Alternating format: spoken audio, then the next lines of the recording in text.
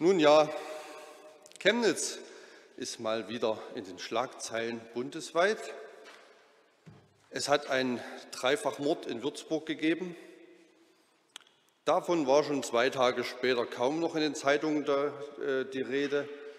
Aber davon ist jetzt äh, überall die Presse voll, dass der Mörder früher mal in Chemnitz gelebt hat.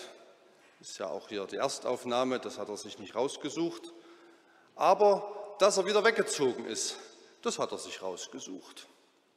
Und in dem Zusammenhang muss man durchaus mal auch mit Stolz auf die Chemnitzer Zivilgesellschaft und ihre Akteure verweisen, die diesen Menschen eben dazu gebracht haben, sein Unwesen nicht mehr in unserer Stadt zu treiben, sondern freiwillig sich woanders hin zu begeben.